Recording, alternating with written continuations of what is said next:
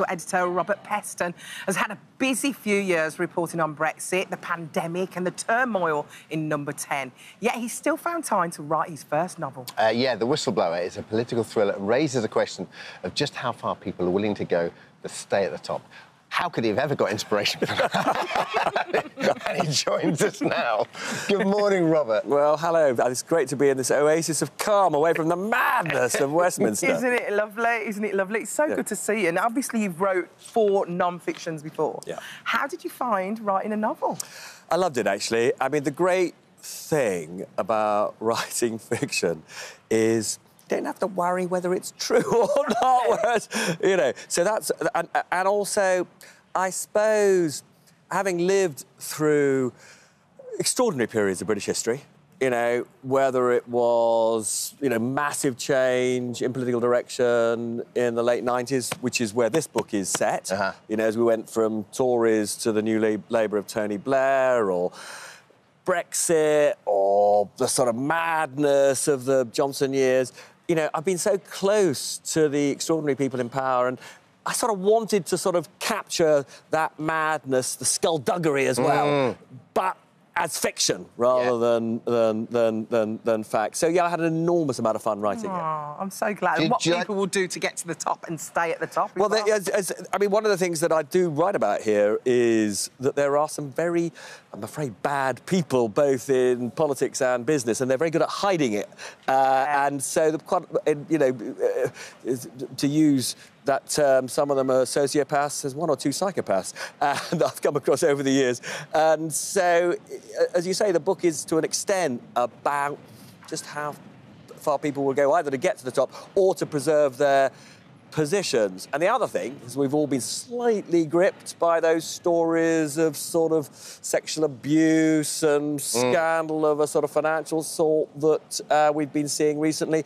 There was quite a lot of that around in the 90s where this book is set. So there's quite a lot in this book that weirdly, when all these events started happening recently, I thought, oh, gosh, there's, there's, there's, there's sort of familiar to what yeah, I've just been writing yeah. about. You know what Do I mean? Do you use the people you've met down the years as kind of an inspiration? Go, well, he's a bit like that, so, or she's a bit like that, so I'll, t- I'll extrapolate that and I'll take them as my inspiration and then turn them into like a proper baddie, or or the uncomfortable question: Do you use people and go, "Well, I'm, I'm going to do going to do a version of I know that person, uh, what I know that person." Yeah, you so, so, so, so, you want it. So you want a book like this to be authentic, and therefore everybody in it has a bit of either a person or actions that I've observed. Um, th- there is only one person actually in the book who is literally taken directly from life. My late cousin, a bloke called Alan Davidson, was a very successful paparazzi photographer, and I, he died just as I was writing the book, and I just wanted to sort of do a little tribute to him. So he's, he's, he's in a slightly different name, but he's in the book. Everybody else is an amalgam. I did have a very embarrassing conversation the other day with a uh, current member of the government, well, not embarrassing exactly, but I did have a conversation with a current member of the government who said, I think I spotted myself in my, my younger self in the book. Oh, and oh all I could say, I thought, all I could say was, well, you're a very intelligent reader. Yeah. Put your hands in your pockets and whistle walking away.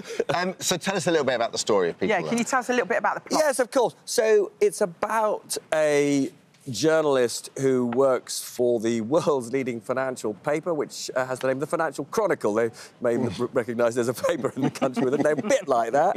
Uh, and, and, as it happens in the 1990s, which is uh, what people always people always ask me is the central anti-hero character you, and it is true that in the 1990s the central character is the political editor of this paper. I was political editor of the Financial Times in the late 1990s. So, so there are there are little right? bit there are little bits of the book that are also based on uh, on, on, on me. The, the, central character is also slightly obsessive and a bit OCD, and that also is a. I'm, I'm not unlike that as, as, as, as, as, as well. But his sister uh, dies in what looks like a sort of horrible bicycle accident, knocked off by a van. Yeah. And he comes to suspect that all is not what it seems, that it's not an accident. And the book is really about him investigating a, a massive political and indeed business scandal that led to her death, and it's all set in the run up to that famous 1997 general election,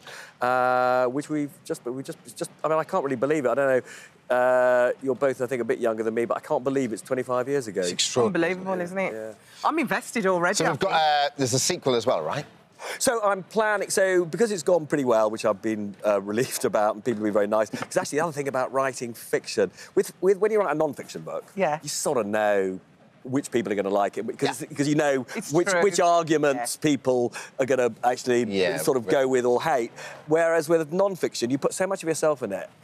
It's impossible to know whether people. Sure. Know, it was terrifying. Anyway, people on the whole, you know, the reviews have been nice. The comments people have left online have been very nice. So I am writing a follow-up, which will be set at the time of the financial crisis uh, Right. in 2008. And then, if that goes all right, we'll do one set roughly in the madness of the current. Same characters. Same character, Gil Peck, Uh, uh, uh, all the way through. I Yeah. have to ask you about ramifications and what's going on in number 10 at the moment and the, and the leadership challenge. We've only got 40 seconds or so, but what's your take on it?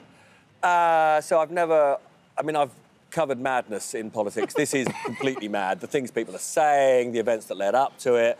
Um, it will be when I get to, write, to writing the, the, the, the thriller set in the present day. It's going to be difficult to come up with something more extreme and extraordinary than we're living through. Uh, if everybody always asks me who's going to win, the answer is this is the most uncertain contest I've ever reported on. But uh, I do think that uh, Rishi Sunak and Penny Mordaunt, somebody nobody's, well, very few British people really know very much about. She must be so They, popular they, within they the are, party, they are definitely out ahead at the Yeah. moment, and I think they may go to the runoff. Thank It's you. out. Give it a the ching. Whistleblower. It's going to be amazing. By Robert Peston. Thank you so Uh, much you've for got a- joining. Holiday reading ching. sorted. It's got to be holiday reading sorted.